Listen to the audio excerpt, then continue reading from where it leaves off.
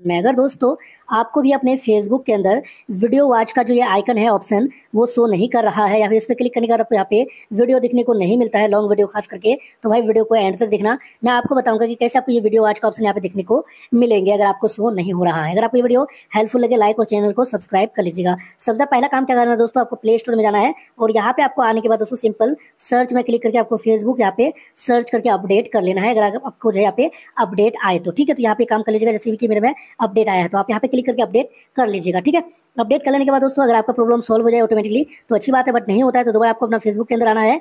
और यहाँ पे दोस्तों आपको थ्री लाइन मिलेंगे। इस थ्री लाइन पर क्लिक करेंगे तो आपके सामने इस तरीके से आएगा। नीचे आएँगे, एक ऑप्शन आपको मिलेगा सेटिंग्स एंड प्राइवेसी इस पर आप क्लिक करोगे तो यहाँ पे मिल जाएगा सेटिंग्स का ऑप्शन ठीक है? इस पर क्लिक करना है और आपके सामने कुछ इस तरीके से देखने को मिलेगा। यहाँ पे आप स्क्रॉल करके थोड़ा नीचे आएँगे।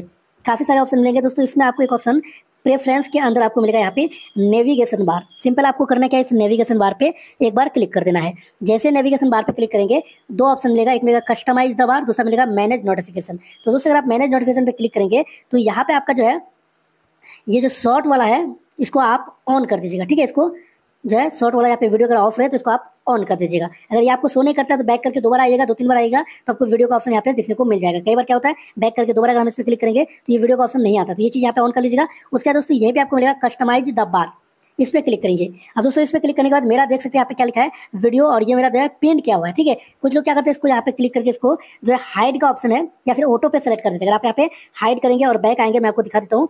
यहाँ पे दोस्तों ये गायब हो जाएगा। जैसे कि आप यहाँ पे अभी देख सकते हैं, मेरे में शो नहीं कर रहा है, ठीक है? तो आपको करना क्या उसको पिन रखना है। थ्री डॉट पे क्लिक करके यहाँ पे सेटिंग्स एंड प्राइवेसी में आएँगे। सेटिंग्स में आएँगे, उसके बाद और यहाँ पे नेविगेशन बार पे आपको आने के बाद सिंपल यहाँ पे कस्टमाइज बार पे क्लिक करना है और आपको इसको क्या करना है? हाइडन से हटा के सिंपल आपको इसको पिन पे क्लिक कर देना है। जैसे पिन करेंगे, ये आपको आ जाएगा। मान के चले दोस्तों, इसके बाद भी नहीं आता आपका पिन किया हुआ है? फिर भी नहीं आता है। तो ऐसी स्थिति में दोस्तों, आपके फ़ोन में कोई गड़बड़ नहीं है। आपके ऐप में गड़बड़ नहीं है या फिर फेसबुक का प्रॉब्लम है। तो ये आपको फेसबुक को बताना होगा। कैसे बताएँगे? यहाँ से बैक आएँगे थ्री लाइन पे क्लिक करके दोबारा आपको नीचे आना है। यहाँ पे हेल्प एंड सपोर्ट मिलेगा।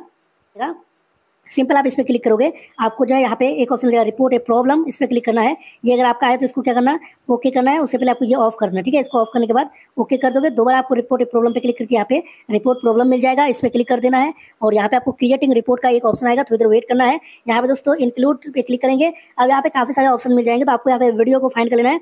अगर आपको वीडियो का ऑप्शन नहीं मिलता है तो यहाँ पे दिख जाएगा वीडियो या फिर वीडियो ठीक है? दोनों में से किसी एक पे क्लिक करेंगे वीडियो पे क्लिक करेंगे, आपको लिखना है वीडियो वॉच ठीक है, आपको लिखना है video watch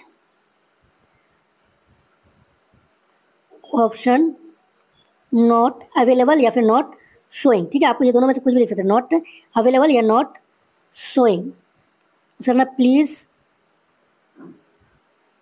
लिखना है प्लीज़ फिक्स इट ठीक है fix it as soon as possible आपको इतना लिख के दोस्तों इसको आपको जाना है।